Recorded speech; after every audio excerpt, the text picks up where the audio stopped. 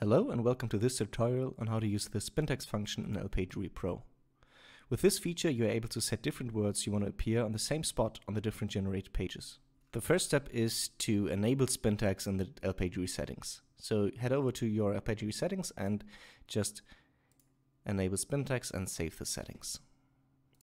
The way spintax works is you, have, you put in any element you want, for example a heading, and then type in your heading like our and then you put an open curly brace, our, awesome, and then you put a pipe symbol, awesome, great, and phenomenal. I hope that's spelled correctly. And then you close the curly brace again and put in anything you want. And what our LPagery then does is randomly pick one of these three words on all the generated pages. Let me show you the result. And then you can see on a generated page, it put in awesome, just one of the three words.